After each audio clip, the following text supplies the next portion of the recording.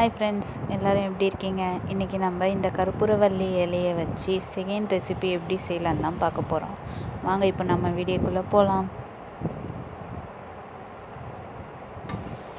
இந்த கற்பூரவள்ளி இலையை நான் ஒரு பத்து பதினஞ்சு இலை வந்து கிள்ளி எடுத்து வச்சுருக்கேன்.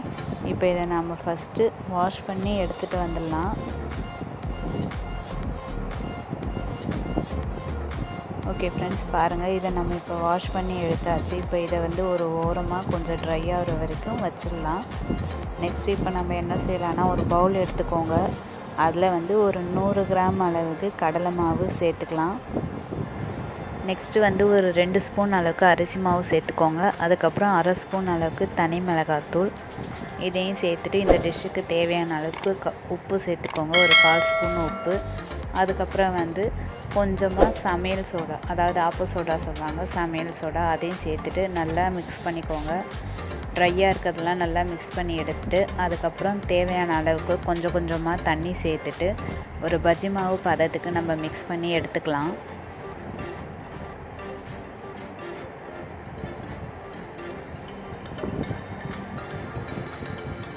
ஓகே ஃப்ரெண்ட்ஸ் பாருங்கள் நம்ம கரெக்டாக மிக்ஸ் பண்ணி எடுத்தாச்சு. இந்த அளவுக்கு பதம் வந்தால் போதும். ரொம்ப தண்ணி ஆக்கிடாதீங்க. அதுக்கப்புறம் இலையில வந்து ஒட்டாது. ஓரளவுக்கு கெட்டியாகவே இருக்கட்டும்.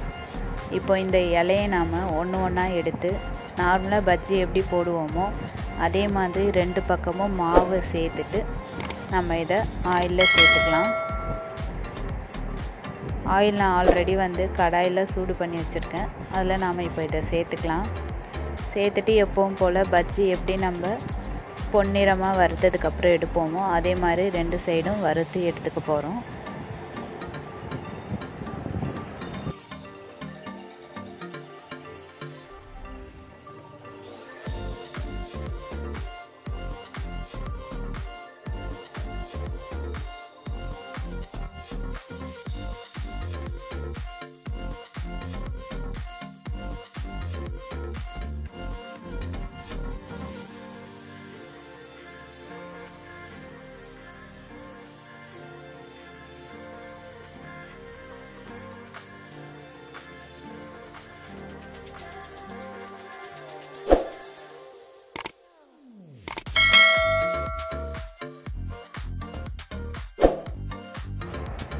ரெண்டு சைடும் வெந்து வந்ததும் நம்ம இதை எடுத்துடலாம். பஜ்ஜி கலர் கரெக்டாக வந்துருச்சு. இப்போ நம்ம இதை எடுத்துடலாம். இதே மாதிரி எல்லா இலையும் நான் வந்து பஜ்ஜி போட்டு எடுத்துட்டேன்.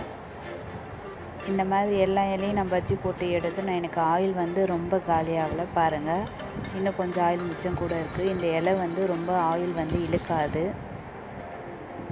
ஓகே ஃப்ரெண்ட்ஸ் இப்போ நம்ம பிளேட்டிங் பண்ணிடலாம். பாருங்கள் நம்ம சூப்பரான கற்பூரவள்ளி இலையில் செஞ்ச பஜ்ஜி ரெடி ஆகிடுச்சு இதுக்கு நீங்கள் சாஸும் தொட்டுக்கலாம் அப்படி இல்லைன்னா சட்னியும் தொட்டு சாப்பிட்லாம். ஓகே ஃப்ரெண்ட்ஸ் இந்த வீடியோ உங்களுக்கு பிடிச்சிருந்தா கண்டிப்பாக ஒரு லைக் கொடுத்துருங்க. நெக்ஸ்ட்டு வரப்போகிற வீடியோ கூட இந்த இலையை வச்சு ஒரு இன்ட்ரெஸ்டிங்கான ரெசிபியோடு தான் வரப்போகுது. ஸோ நம்ம சேனலை நீங்கள் இன்னும் சப்ஸ்கிரைப் பண்ணலைன்னா கண்டிப்பாக சப்ஸ்கிரைப் பண்ணிவிட்டு பக்கத்தில் இருக்க பெல் ஐக்கானையும் கிளிக் பண்ணிக்கோங்க. அப்போ தான் நான் உங்களுக்கு கொடு போடுற வீடியோ வந்து நெக்ஸ்ட்டு நோட்டிஃபிகேஷனில் வரும். ஓகே ஃப்ரெண்ட்ஸ் தேங்க்ஸ் ஃபார் வாட்சிங் ஹாவ் அ நைஸ் டே